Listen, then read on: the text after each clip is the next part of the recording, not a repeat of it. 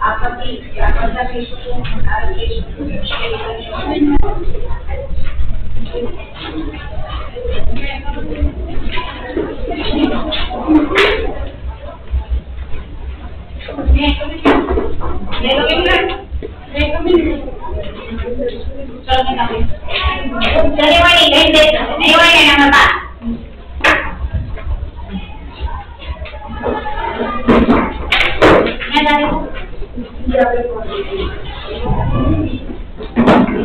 કોઈ વસ્તુ આપણે કરવામાં નહીં આવે. ક્લાસમાં આવો એટલે ટાઈમ ટેબલ મુજબ પીરિયડ મુજબ તમારે કામ કરવાનું છે.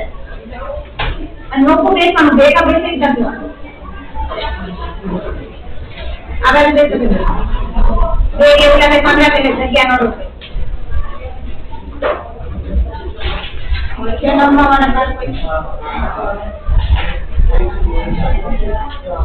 એટલે જે આપત્તિઓ હોનારત સર્જાય છે, તેની જાળવણી માટે શું કરવું ને શું ના કરવું?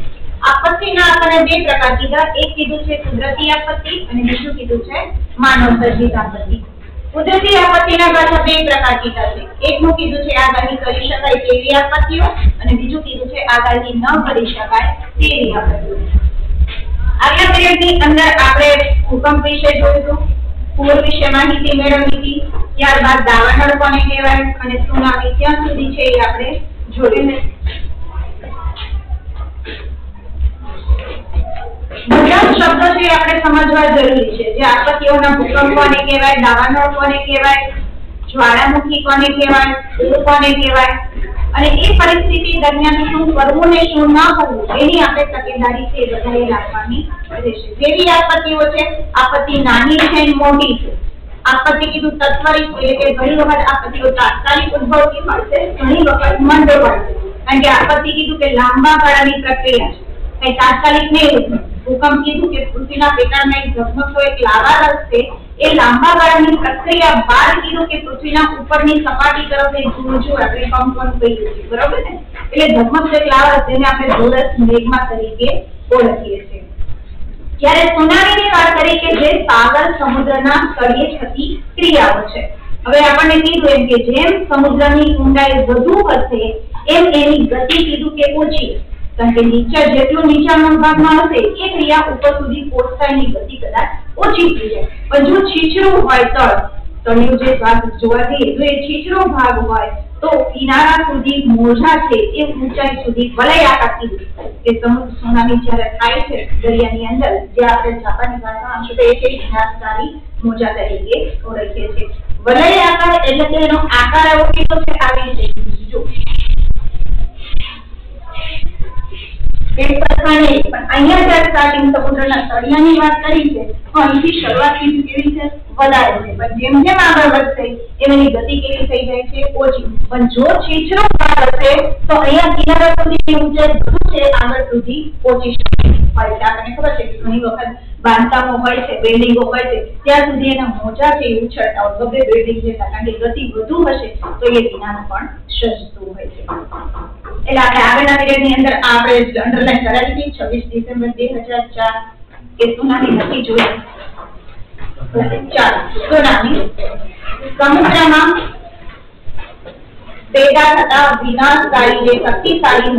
આપણે સુનામી તરીકે ઓળખીએ છીએ. સમુદ્રમાં ઓલી જમીનની ક્રિયા છે ભૂકંપ અને સુનામી તેની આવશે સમુદ્રમાં થતી ક્રિયા છે, જે વિનાશકારી મોજા છે. જેની ઉત્પત્તિ સમયે સમુદ્ર મહાસાગરના સાત કિલોથી વધુ સ્કેલ રિક્ટર સ્કેલ જે ભૂકંપની માત્રા હોય છે, એમ જ્યારે સુનામી થાય છે, એની પણ માપ થાય છે. રિક્ટર સ્કેલની અંદર કેવી છે? તીવ્રતા. કારણ કે પાંચ નો છે છ નો છે સાત નો છે, કેવી છે તો એ મુજબ છે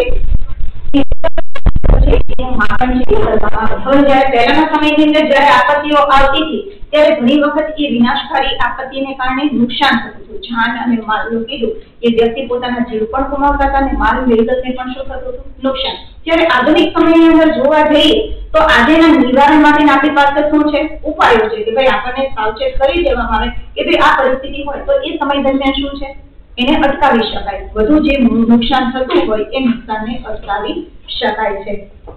રિટર સ્કેલ તીવ્રતા ધરાવતા ભૂકંપ દ્વારા અથવા તો કીધું કે સમુદ્રીય જ્વાળામુખીના પૃષ્ઠ પરથી હવે જ્વાળામુખી કીધું કે ઓળવું જમીનમાં થાય છે. આ ક્રિયા પાછી ક્યાં છે?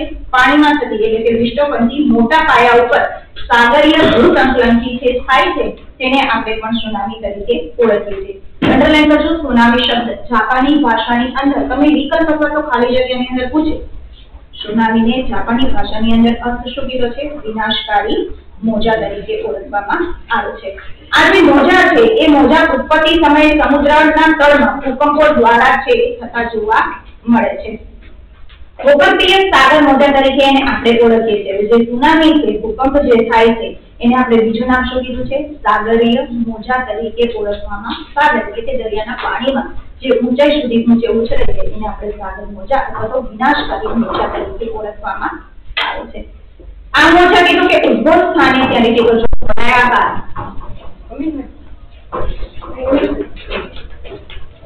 આ મોજા જે તળે થાય છે, જ્વાળામુખી પ્રશ્ન પણ થાય છે, એના ઉદ્ભવ સમયે આકાર કેવો કીધો છે? વલય આકાર સ્વરૂપે છે, એ જોવા મળે છે. ઊંડા સમુદ્રમાં તેની ઊંચાઈ ચાલીથી જોઈ કરવા યાદ મેં તમને કીધું કે જ્યાં સમુદ્રનું તળ કેવું છે? ઊંડાઈ વાળું છે, કારણ કે બધા સમુદ્રના તળ એક સરખા છે મહાસાગર બધા એક સરખા છે ઘણાની લંબાઈ વધારે, ઘણાની ઊંડાઈ વધારે, ઘણાની પહોળાઈ વધારે. એટલે જેટલું અહીંયા કીધું છે કે ભાઈ ઊંડાઈ સમુદ્રમાં તે ઓછી ઊંચાઈને કારણે નજરે પડતા નથી. કારણ કે ઊંડાઈ વધુ છે, ક્રિયા થશે તો ઉપર આવતા એની ગતિ કેવી થઈ જાય છે? ઓછી એટલે ઊંચાઈ ઓછી છે. પણ જો એ જ વસ્તુ પાછી છીછરા કિનારા ઓલામાં હોય તો એ ક્રિયા વધુ વેગ સાથે છે કે બહાર આવતી હોય છે. એટલે નજીક છીછરા સમુદ્રના ક્ષેત્રમાંથી પસાર થાય તે વિનાશકારી સ્વરૂપ છે, ધારણ કરે છે. ઝડપ કિનારા પાસેની કેવી થઈ જાય છે, ઓછી થઈ જાય છે અને ઊંચાઈ વધી જાય છે. આ કારણથી કિનારાના ક્ષેત્રમાં પાણીની એક દિવાલ બની, આગળ વધી તે ભારે અને કે જે કિનારો છે, એની એક દિવાલ છે, એ દિવાલથી કેવું બની જાય છે, આગળ વધી અને તીવ્ર તે તબાહી મચાવે છે. જ્યાં સુધી એ ઓછા ક્ષેત્રમાં હશે, ત્યાં સુધી વાંધો નથી, પણ ગતિ વધુ છે, ઊંચાઈ છે તો એ જમીન વિસ્તારમાં જે રેણાકી વિસ્તારો હોય છે આજુબાજુમાં, ત્યાં સુધીની ગતિ હોય તો એ શું કરે છે? વિનાશ કરે છે. આપણે ઘણી વખત નેટમાં આપણે ગૂગલ ફેસબુક આવા ચિત્રો છે જોયા હોય છે સુનામીને કારણે ઘણી વખત વિનાશ છે, એ સર્જે છે. અને પાણીની જે તાકાત હોય છે, ત્યાં વ્યક્તિની તાકાત ઘણી વખત ઓછી પડતી હોય છે. ભલે આપણે ગમે એટલું આપણું શરીર ગમે એટલું બળવાન હોય, પણ પાણીની તાકાતની આગળ આપણે ઘણી વખત પાછા. હા, એટલે આપણને તરતા આવડતું હોય તો આપણે આપણો જીવ છે એ બચાવી શકીએ છીએ. હવે અહીંયા સુનામીની વાત કરી છે કે સૌથી ભયંકર જે વિનાશકારીની વાત કરી જેમ આપણને ભૂકંપની વાત કરી કે બે હજાર એક ની અંદર જે ભૂકંપ ગુજરાતની અંદર થયો છે, ભૂકંપ બધી જગ્યાએ છે. પણ જે વિનાશકારી છે, સૌથી મહત્વનો, પાણીની વાત બંધ નહીં કરી હતી ત્યારે આપણે મચ્છુ ડેમની વાત કરી હતી. ભૂકંપની કરી તો કે ગુજરાતમાં બે હજાર એકમાં કચ્છ જિલ્લાની અંદર વાત કરી. એવી જ રીતે અહીંયા હિન્દ મહાસાગરમાં ચારની અંદર, ત્યાં આગળ લેન્ડ જોડકાની અંદર પૂછશે ચોખ્ખું જયારે ગોઠવવાનું આવે ને ત્યારે સાલ સાથે કોઈ ઘટના હશે. પણ શું છે? એ ખ્યાલ હોવો જરૂરી છવ્વીસ ડિસેમ્બર, પછી તાજમહેલની અંદર પણ આતંકવાદ પછી એ પણ આવશે, એ માનવ સર્જિત આવશે. કારણ કે માનવીઓ દ્વારા કીધું કે ડર પેદા કરવામાં આવે છે. આતંકવાદ કીધું કે વિશ્વ, વૈશ્વિક એક સમસ્યા છે. અને વિશ્વનો કોઈ એવો દેશ બાકી નથી કે જ્યાં આતંકવાદ નથી. આતંકવાદ મોટા ભાગે છે પણ અત્યારે આપણે કુદરતીની વાત કરીએ છીએ. છવ્વીસ ડિસેમ્બર બે હજાર ચાર ના રોજ હિન્દ મહાસાગરના વિનાશકારી સુની- સુનામી આવવાને કારણે થાઈલેન્ડ, હવે નામ અંડરલાઈન કરવું હોય તો કરજો નતર યાદ રાખજો થાઈલેન્ડ, ભારત, ઇન્ડોનેશિયા, શ્રીલંકા વગેરે જે એશિયો આપણો જે સાત ખંડો છે, એમાં એશિયા ખંડો, કારણ કે સૂચન થતું છે.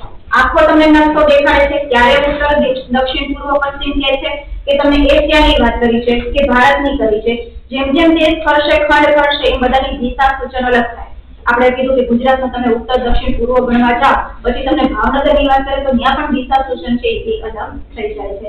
એટલે અહીંયા એશિયા ખંડની વાત કરી કે ભાઈ તમે દક્ષિણ અને પૂર્વના દેશોમાં જોવા જાઓ ભાગની અંદર, તો બે લાખથી વધુ લોકો સુનામીનો છે એ ભોગ છે એ બન્યા હતા. આધુનિક સમયની અંદર કીધું કે જોવા જઈએ તો ભાઈ સાધનોની મદદથી જે સુનામીની પૂર્વ રચના અને એના આવવાનો જે સમય હોય છે, એ ચોક્કસ અંદાજ છે એ કાઢી શકાય છે. વાતાવરણ, હવામાન વિભાગ હોય વાતાવરણની અંદર પલટો સર્જાય છે, ત્યારે હવામાન વિભાગ આપણને સાવચેત કરીએ. પેલા એ સમયની અંદર કીધું કે સાધનોનો અભાવ હતો, જેને કારણે કીધું કે જાન માલનું કેવું થતું નુકસાન વધુ થતું હતું. જ્યારે આધુનિક સમયની અંદર જોવા જઈએ, તો સાધનોને કારણે કીધું કે એનો મૃત્યુ આ છે કે કેવો થાય છે, ઓછો કરી શકાય છે. અંદાજ કાઢી શકાય કે ભાઈ, આ સમયે કીધું કે આ ઘટના છે એ ઘટી શકે, આપણને સાવચેત કરી છે. બરોબર? પછી આવે પણ ખરી અને ન પણ આવે. કદાચ આવવાની વાત તો માટે આપણી પૂર્વ તૈયારી હોય કે ભાઈ આટલું આપણે આ કાર્ય ચેક કરી દેવાનું છે, બાકીનું પછી ઈશ્વર ઉપર છોડી દે તેથી ભવિષ્યમાં હજુ પણ આવી સાવચેતી દાખવી જાનહાનિ છે એ અટકાવી શકાય છે.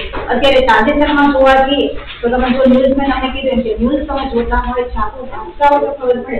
ઉત્તરાખંડની અંદર અત્યારે હાલમાં તબાકી જળ પ્રલયને કારણે તબાકી મચાવી છે.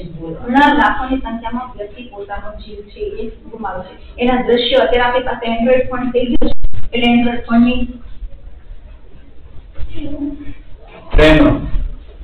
યુનિફોર્મમાં જે તમે લેગીસ પહેરો છો એ ફક્ત બ્લેક કલરનું જોવું જોઈએ. એમાં કોઈ જાતની ડિઝાઇન કે એવું નથી પહેરવાનું. પ્લેન જ પહેરવાનું. પ્લેન બરોબર? કેપ્ટન તું છો? તાર માનશે ને સવારમાં આવી. પહેલા તારે યુનિફોર્મ બેનો જો ચેક કરવાનો. પછી હું રાઉન્ડ મારીશ ને કોઈ નીકળશે એટલે તને હું બહાર કાઢી મૂકીશ. યુનિફોર્મમાં કઈ પ્રોબ્લેમ હોય એટલે ક્લાસ ટીચરને પૂછીને એની બહાર ઊભા રાખવાના. નખ બધું ચેક કરવાનું. ટોટલ વાળ ચોટલો નખ નો હોવા જોઈએ કલર નો હોવો જોઈએ નખમાં. બરોબર? વ્યવસ્થિત કમ્પ્લીટ સફેદ મોજા બૂટ. ભાઈઓમાં કેપ્ટન કોણ છે? તારે એ રીતે હો. મેં તો હશે તો તમને બે નું બહાર કાઢી સવારમાં આવે ને ટીચર આવે ને તમારે પહેલા બધું ચેક થઈ જવું જોઈએ.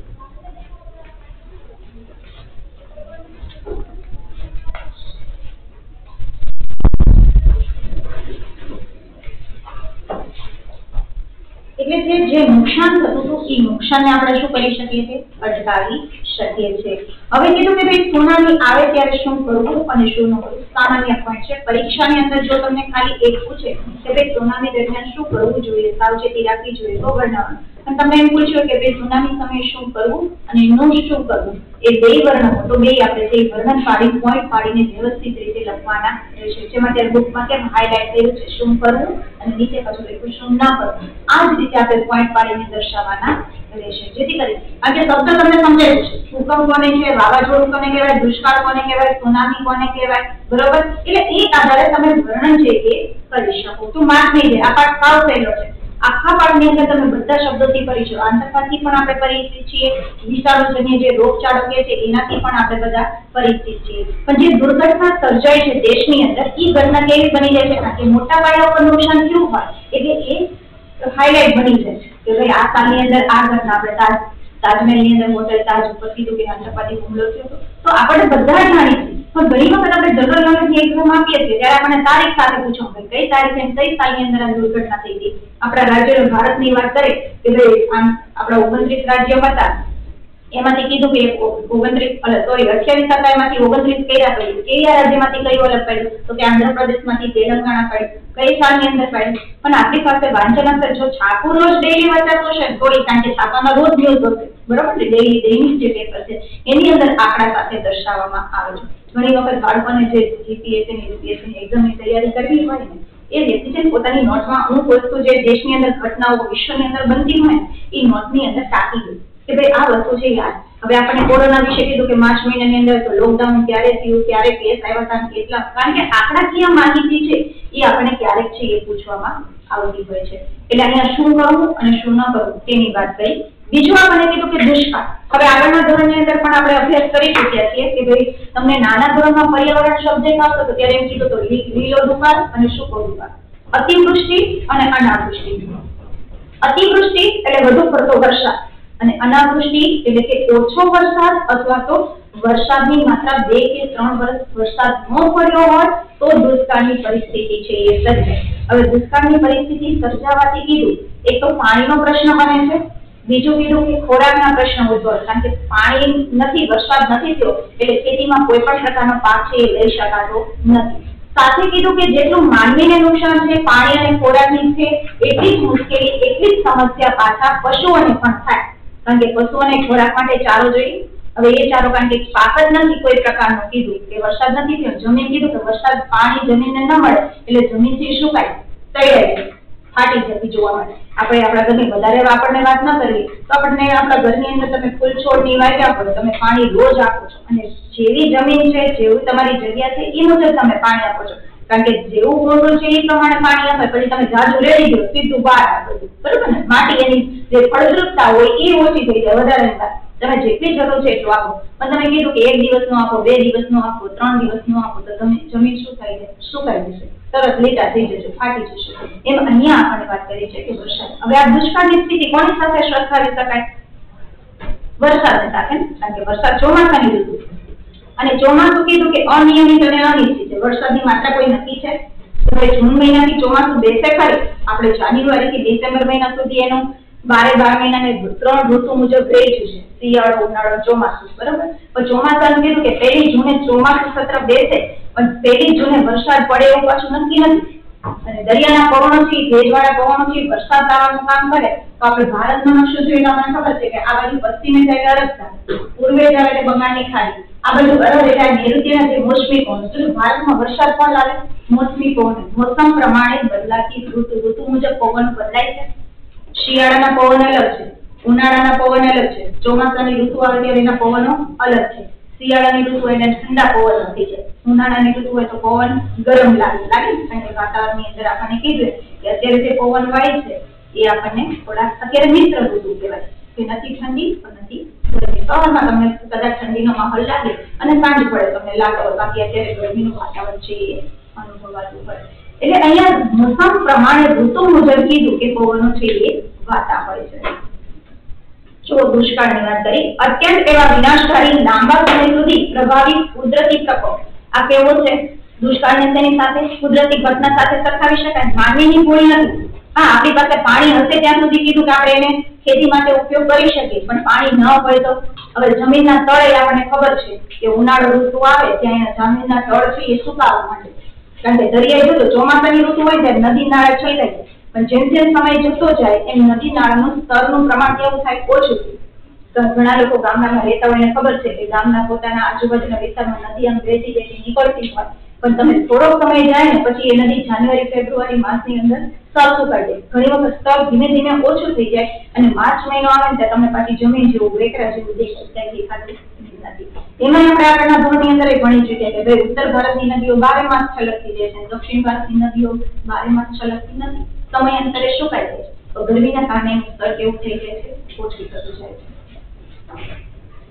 હવે આ જે દુષ્કાળ છે, એ જીવસૃષ્ટિના અસ્તિત્વ માટે જરૂરી એવી બાબતમાં જોવા જઈએ તો દુષ્કાળ પડવાને કારણે પાણીની સમસ્યા સર્જાય છે અને ખોરાકની સાથે બે ગાઢ કેવા છે જોડાયેલા છે સંકળાયેલા છે ખોરાક ઉપર પણ એની સીધી અસર કરે અને લાંબા ગાળાની જે ટૂંકા ગાળાની છે તો નિવારણ થઈ જશે. વરસાદ નથી થયો, ખેતીના પાક નથી લેવા જેટલો જથ્થો છે એટલું પ્રજાને પૂરું પાડવાનું અને જે છે માટે શું કરવું પડે? આયોજન કરવું પડે છે. મોસમી આબોહવાના વિસ્તારોમાં અનિયમિત વર્ષાઋતુથી અને ઓછા કે નહિવત વરસાદના વર્ષોમાં દુષ્કાળની સમસ્યા છે એ ઉદ્ભવે છે. દુષ્કાળની સમસ્યા ક્યારે ઉદ્ભવે? એક તો નહિવત વરસાદ હોય તો અને બીજું કે ઓછો વરસાદ થયો હોય ત્યારે દુષ્કાળની પરિસ્થિતિ પેદા થતી હોય છે. કારણ કે ખેતીના પાક અને અનાજ અને જીવસૃષ્ટિ પાણી સાથે સંપૂર્ણ રીતે અવલંબિત છે. ખેતી કરવી છે તો એની માટે કીધું કે જમીન પણ જરૂરી છે અને સૂર્યપ્રકાશ પણ એટલો જ મહત્વનો ધરાવે છે. અછતની પરિસ્થિતિમાં પાણીના અભાવને લીધે છે એ સર્જાય છે. અછત ખોરાકની ક્યારે સર્જાય? પાણીની મુશ્કેલી હોય ત્યારે ને? ખેડૂતો કીધું એમ કે આપણે દેશની અંદર સિંચાઈ પદ્ધતિ દ્વારા એસી ટકા વરસાદ ચોમાસાની ઋતુમાં પડી જાય છે. પણ આપણા દેશમાં આપણને પૂછે કે ભાઈ સિંચાઈ દ્વારા કેટલી ખેતી? તો કે ત્રીસ ટકા ખેતી સિંચાઈ દ્વારા થાય છે. ચોમાસું તો કીધું કે ચાર મહિના ગણો માંડ એક મહિનો વરસાદ પડતો હોય તમે જૂન મહિનાથી જૂન, જુલાઈ, ઓગસ્ટ અને સપ્ટેમ્બર ચાર મહિના ચોમાસું હોય, એમાં તો જૂન મહિનો વયો જાય, જુલાઈ અડધો વહી જાય. જુલાઈમાં વરસાદ પડે, વળી પાછા પંદર દિવસ ખેંચાઈ જાય એટલે સરભર થાય, એક મહિના જેવો વરસાદ પડે છે. એસી ટકા વરસાદ છે, એ સિઝન મુજબ પડે છે. હવે એ એસી ટકા પાણી છે, એ આપણે આખા વર્ષ વાપરવાનું છે, બરોબર? હવે ઘણાના ખેતરોમાં કીધું કે કુવા અને બોરની હોય, તો ખેતીના પાક વિવિધ લઈ શકશે. પણ જો એવું વ્યવસ્થા નહીં હોય તો તેને વરસાદ આધારિત ખેતી કરવી પડશે. આ બધું ખેતીના પાક છે તમારે પાછું દસમા ધોરણની અંદર આગળ છે એ ભણવાનું આવશે. દુષ્કાળની સ્થિતિમાં માનવ માટે અનાજની સાથે સાથે પાલતુ પશુઓ જે પાલતુ પશુ એટલે ગાય, ભેંસ જે રાખતા હોય, જે ઘૂંટાળા પશુઓ કહી શકાય છે, એની માટે ઘાસચારાની સમસ્યા પણ ઉદ્ભવતી પડે છે. અને એક જમાનામાં કીધું કે દુષ્કાળથી ભૂખમરાથી ભારે જાનહાનિ થતી. દુષ્કાળ આપણે પહેલાના ચિત્રો જોઈએ, ત્યારે ખબર છે કે દુષ્કાળ પડ્યો હતો બરોબર ને? હવે એ સામે અંદર દુષ્કાળ પડ્યો હતો ને, તો ત્યારે ઘણી વખત આપણે ચિત્ર જોઈએ, તો વ્યક્તિ હાવ હાડપિંજર જેવા થઈ ગયા હોય પશુઓ એ હાવ હોય, અને ખોરાક નથી મળ્યો પાણી નથી જ્યાં સુધી તમારી રોગ પ્રતિકારક શક્તિ સારી હશે ને, ત્યાં સુધી તમને વાંધો નહીં આવે. જેવી તમારી રોગ શક્તિ છે, એ નબળી પડશે એટલે તરત જ વ્યક્તિ છે, એ મૃત્યુ પામતા હોય છે. એટલે દુષ્કાળ પહેલા પડ્યો હતો ને, ત્યારે કીધું કે જાનની, માલની ઘણું બધું નુકસાન થતું હતું. પણ આજના સમયની અંદર જોવા જાય તો?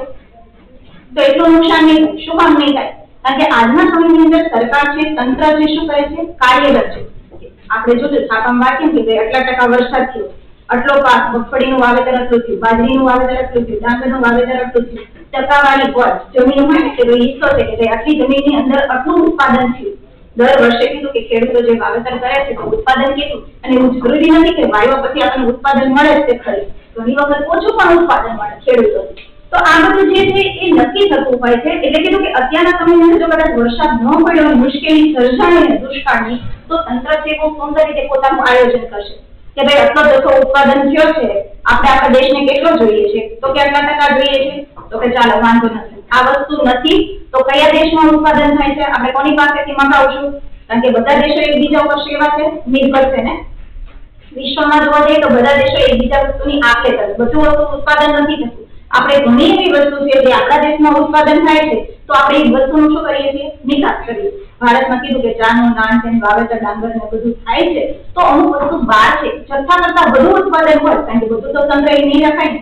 કારણ કે જે દેશ જે દેશને જરૂર છે એને મોકલવામાં આવતું હોય. એટલે જો માની લો કે દુષ્કાળ પડ્યો હોય, તો એ સમય દરમિયાન તંત્ર છે એ સુંદર રીતે પોતાની કામગીરી કરશે. પ્રજાને શું જોઈએ છે એ આયોજન સાથે કામ કરે. અને આપણને કીધું કે ભલે કદાચ દુષ્કાળ પડે પણ ખરી, ન પણ પડે, ન પડે તો પણ આપણને ખબર છે કે ભાઈ અનાજનો બગાડ કરવાનો નથી. અનાજ પેદા કરતા કીધું કે ખેડૂતોને ઘણી બધી મુશ્કેલી પડે. ભલે આપણે પૈસા આપીને જ ખરીદીએ આપણો હક છે. આપણે પૈસા આપીએ, પણ બગાડ કરવાનો નથી. આપણે આપણા પ્રોગ્રામો થતા હોય, સમારોહ થતા હોય છે અને લગ્નની બાબતની બધી હોય, અથવા તો તમે હોટલમાં ગયા જમવા માટે. આપણે પૈસા આપીને જમીએ છીએ, પણ આપણે જેટલી જરૂર છે આપણને ભૂખ છે એટલું જ. આપણે કોઈ નાના પાટું બે વાર નહીં લેતા બરોબર? પણ કીધું કે જેટલું જરૂર છે એટલું લ્યો, જેથી કરીને અનાજ બગાડ ન થાય બીજાને છે એ મળે. આપણા દેશમાં એવાય છે કે જેને બે ટકનું ભોજન નથી મળતું. ઘણા ભૂખે સુઈ જાય અને આપણે ઘણી વખત આપણા ઘરમાં એટલો બધો બગાડ કરતા હોય કે પાંચ જણા જમી લે ને એટલું પાછું એઠવાડમાં જતું હવે લગ્નના તમે કાર્યક્રમો થતા હોય ત્યાં જોઈએ ને ત્યારે ખબર પડે આપણે ડીશ મૂકવા જઈએ. બધાની ડીશમાં થોડું ઘણું થોડું ઘણું તો પડ્યું હોય.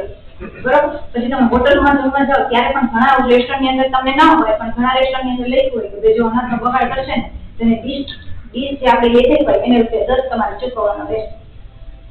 અને એ વાંચ્યું હોય ને તો. બાકી તો ન વાંચ્યું હોય ને ઓલા એમ કે દસ રૂપિયા કારણ કે તમે ડીશ જાવ ને જુઓ આ પડ્યું છે કેમ? એટલે કે મારે નહોતું ખાવું. તો નહોતું ખાવું તો તો તો લેવાય નહીં. આપણને એમ કે કારણ કે તમારું એક વસ્તુ છે, એ બીજાનું પેટ ભરી શકે છે. એના માટે કીધું કે અનાજનો બગાડ છે, એ અટકાવવો જોઈએ. એટલે આપણને શું કરવું અને શું ન કરવું એની વાત કરી છે. ત્યાર પછીનો પોઈન્ટ આપણને દાવાનું કીધું છે. હવે દાવાનળથી આપણે દાવાના ધોરણથી પડી છીએ.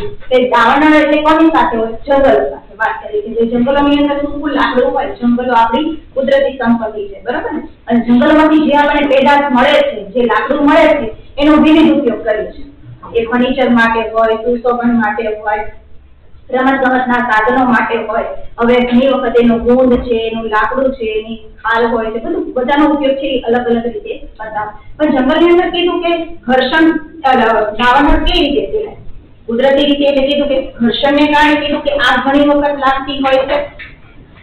તમને એમ કે ઘર્ષણને લીધે એટલે કેવી જંગલમાં સૂકું લાકડું હોય ને ગરમીનો પ્રભાવ હોય અને ઘણી વખત એક ઘર્ષણને કારણે આગ લાગે. અને બીજી વખત કીધું કે વીજળી પડવાને કારણે પણ જંગલ માટે સૂકું ઘાસ અને લાકડીઓ હશે એટલે એ ઝડપથી સળગી ઉઠે અને આપણે ડિસ્કવરી ચેનલની અંદર જે આપણે જોઈએ છીએ ત્યારે ઘણી વખત એમાં બતાવે છે કે જંગલની અંદર ફરતા હોય ને ત્યારે સૂકું લાગે અને આગ જોઈએ છે. આગ શું કરશે? એ પાંદડા અને લાકડીઓ જે મળશે, પોતાની પાસે માચીસ તો હશે જ પણ એ બધું એકઠું કરી અને આગ છે એ પ્રગટાવવામાં આવતી હોય એટલે બે પણ બીજું કીધું છે કે માનવીના ભૂલને કારણે દાવાના કેવી રીતે ફેલાય છે?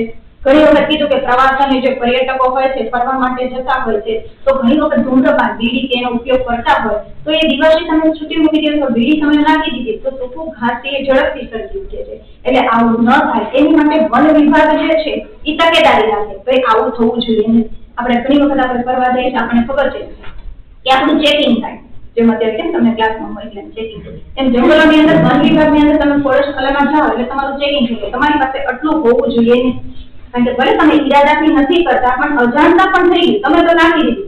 હવે આપણને ઘરમાં ખબર છે કે આપણે દિવસની કંઈક ઉપયોગમાં લેતા હોય આમ સળગાય પછી નાખી દીધું. ભલે તમે આમ કર્યું હોય, તમે એવું માનો કે આમને કર્યું એટલે ગઈ મૂકી દીધી, પણ તમે પાછું જોયું નથી કે સળગે છે કે નથી સળગતી પણ જો એ જગ્યાએ શું ઘાસ કે કાગળ કે કાંઈક હોય તો એની માથે કોઈ વસ્તુ ઉપર આવી ગયું હોય અને ધીમું ધીમું ધીમું સળગે કારણ કે હવા ન મળે, હવા નહીં મળે, એટલે ધીમું સળગે પણ જો હવાની વેરતી આવી ગઈ તો તો ઝડપથી સળગી છે. ઘણા આપણે દિવાળીની અંદર એ ખબર છે કે આપણે બધા ફટાકડા ફોડતા હોઈએ છીએ. એ ફટાકડાનું તણસ લોકો કે સૂકા ઘાસ ઉપર પડે. આજુબાજુમાં જે પશુઓ રાખતા હોય, કારણ કે એના ખોરાક તરીકે ઘાસ ને એવું બધું હોય, તો એ તણખલું એની પર પડે તો સળગી પડે. મોટું સ્વરૂપ છે એ ધારણ કરી લેતું હોય છે. ઘણી વખત કીધું કે કોઈ વ્યક્તિ સૂતા હોય ને માથે પડી ગયું તો ગોધરામાં કે ગાંઠા તો એટલે ઘણું બધું નુકસાન છે એ થઈ શકે. પણ જંગલોમાં કીધું કે આવી રીતે છે એ ચેકિંગ કરવામાં આવતું હોય છે. એટલે દાવાનળ કીધું કે સૂકી ઋતુમાં પાનખર પછીના સમયે પણ આગ લાગવાની સંભાવના છે. એ વધી જાય. પાનખર ઋતુ કીધું. આપણને કટિબંધો કીધું. જંગલોના પ્રકાર થતા યાદ છે? પાંચ. ઉષ્ણ કટિબંધના નિત્યલે આપણા ભારતમાં કટિબંધો છે ને ત્રણ. ઉષ્ણ કટિબંધ સમશીતોષ્ણ કટિબંધ અને શીત કટિબંધ પણ આપણા ભારતમાં બે કટિબંધો પસાર થાય છે. એક ઉષ્ણ કટિબંધ અને સમશીતોષ્ણ કટિબંધ જ્યારે ભારતનો નકશો જોઈએ ત્યારે આટલો આઈટીઓ ઉત્તરનો ભારત બાદ કરીએ એ સમશીતોષ્ણ કટિબંધ મોટા ભાગનો હિસ્સો છે એ ઉષ્ણ કટિબંધની અંદર સમાવેશ એ થાય છે. હવે ખરાબ જંગલો કીધું કે પાનખર ઋતુ આવે, ત્યારે વૃક્ષના બધા પાંદડા છે ને વૃક્ષ ઉપરથી ખરી પડે છે. આપણે ઘણી વખત જોઈએ છીએ કે અમુક વૃક્ષ કેવું હોય કે પાન અને મોટા ભાગની ડાળીઓ છે બધી સુકાય છે. થડે એનું સુકાઈ ગયેલું લાગે ઘણી વખત જોયું હોય તો. તો પછી આપણને એમ થાય કે આપણે વૃક્ષને કાઢી પછી જોવો તો એ વૃક્ષ પાછું લીલું છમ થઈ ગયું અને એની ઉપર સરસ મજાના પાન છે એ આવી ગયા હોય. એટલે પાનખર ઋતુની અંદર જંગલો આવા વૃક્ષો હોય છે, એ પાનખર ઋતુમાં ખરી પડે છે અને ફરી પાછો એના સમય થતે નવા પાન કૂપણો છે એ ફૂટતી હોય. પણ એ જે સુકાઈ ગયેલા પાન હોય ત્યારે દાવાનળ છે, એ ઘણી વખત લાગતો હોય છે.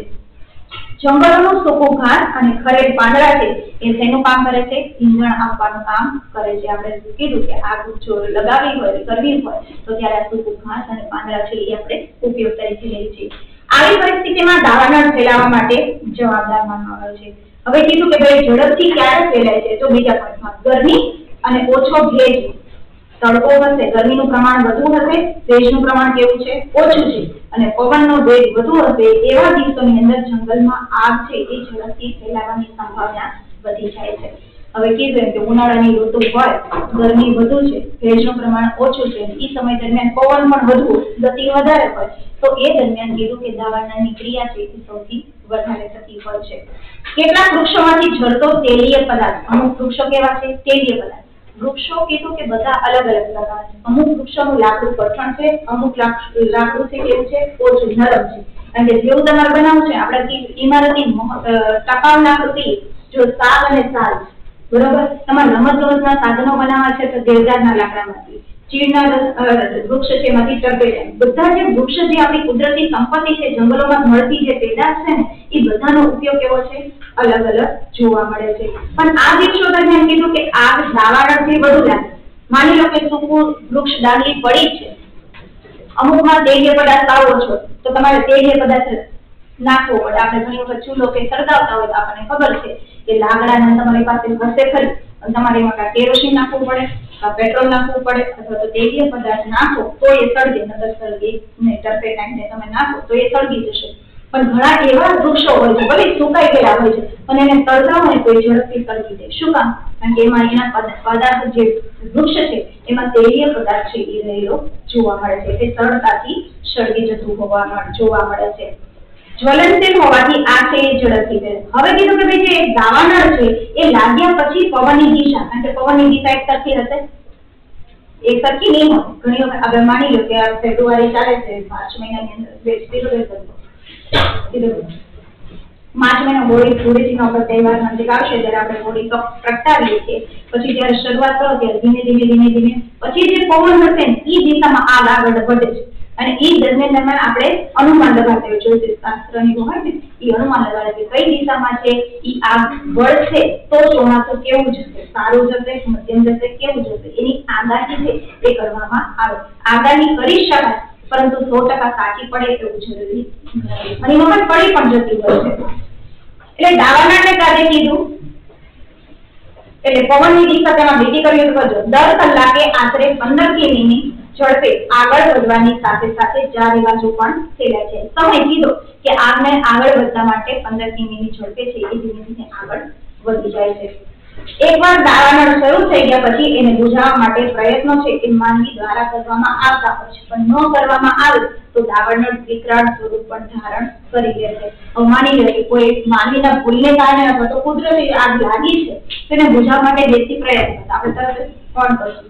ફાયર તમે કારણ કે પાણીનો ટેન્ક લઈને આવે કારણ આગ બુજાવે તો તેનાથી બુજાવી પડે, પાણીથી બુઝાવી નાની અમથી આગ લાગી હોય, અહીંયા આપણે લાગી હોય, તો આપણે બનતો પ્રયત્ન છે એને ઠારવા માટે એ આપણે કરવું ન કરીએ, તો એ વિકાસ સ્વરૂપ પણ ધારણ કરી લેવું પડે છે. અને વરસાદને કારણે ઘણી વખત આગ લાગી હોય ચોમાસાની ઋતુ હોય, તો એ વરસાદ પડવાને કારણે પણ આગ છે એ બુજાવી શકાતી હોય છે. દાવાનળને કારણે ભડ- ભડકે પડતા કીધું કે જંગલોમાંથી ધુવાડા અને ગરમ હવાની સાથે ઊંચે ચડતા તણખલા નજીકની વસાહતો હોય એમાં આગનું જોખમ વધારે. તમે કીધું છે કે હવે એવો વિસ્તાર છે જંગલ વિસ્તારથી નજીક જે વસાહતો વસાહતો એટલે વ્યક્તિઓ રહેતા હોય અને એ દરમિયાન કીધું કે આગ લાગે તો આજુબાજુના વિસ્તારોમાં પણ નુકસાન છે એ પહોંચાડી શકતું હોય. છે સમુદ્રના તળે કીધું કે મોજા કિનારાથી વસાહતો તરફ આવે છે એમ જંગલોથી જે આજુબાજુના વિસ્તારો રહેતા હોય એને પણ ઘણી વખત નુકસાન છે એ પહોંચાડે. અને વન વિભાગ જે સૂચના આપે ને એ દરેકે પાલન કરવું પડે. આપણે કીધું કે સુરક્ષિત જગ્યાએ તમે ફસી જાઓ તો ફસી જવું પડે. પછી આપણે એમ કહેવાય નહીં કે હું નહીં જાઉં, મારા ઓલા છે ના કારણ જો તમારે તમારો જીવ બચાવવો છે, તો તમારે ક્યાંથી દૂર જતું પછી કઈ આગને ભલે કાઢી, કારણ કે અમુક આગ એટલી બધી વિકરાળ મોટું સ્વરૂપ ધારણ કરી લીધું એટલા ટેન્ક એની સુરક્ષા માટે કરે તો એને ઠરતા વાર લાગે. કારણ કે મોટા સ્વરૂપમાં એને સ્વરૂપ છે એ ધારણ કર્યું એટલે વાર લાગે. પણ જો તમે વન વિભાગ સૂચના આપે કે ત્યાંથી ખસી જાઓ, તો ખસી જવું પડતું હોય છે. પછી એનો અનાદર કરાય નહીં. અને ત્યારબાદ આપણને કીધું કે શું કરવું અને શું ન કરવું, એ સામાન્ય જ પણ છે.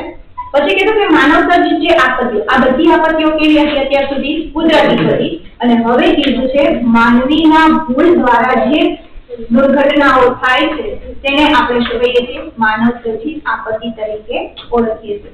હવે કીધું કે માનવી છે એ પ્રત્યક્ષ અથવા તો પરોક્ષ. પ્રત્યક્ષ એટલે સામે હોય તે. પરોક્ષ એટલે કે દૂર હવે કીધું કે જાણતા પણ થાય ને અજાણતા પણ થાય. ઘણી વખત કોઈને કંઈક કરવું હોય તો જાણી જોઈને વ્યક્તિ છે બીજાને હેરાન કરતા હોય, મુશ્કેલીમાં ફરતા હોય અને ઘણી વખત કીધું કે અજાણતા પણ થઈ જતી ભૂલો છે. હવે કીધું કે એમાં માનવીની બેદરકારી હોય, અસાવધાની હોય અથવા તો અજ્ઞાનતા જે માનવ નિર્મિત તંત્રની નિષ્ફળતાના પરિણામ છે એ ઉદ્ભવે છે. જો વ્યક્તિ બેદરકારી દાયથી હોય, અજ્ઞાનતા હોય, તો એને કારણે આવી માનવ સર્જિત આપત્તિ નિષ્ફળતા પોતે દાખવે છે.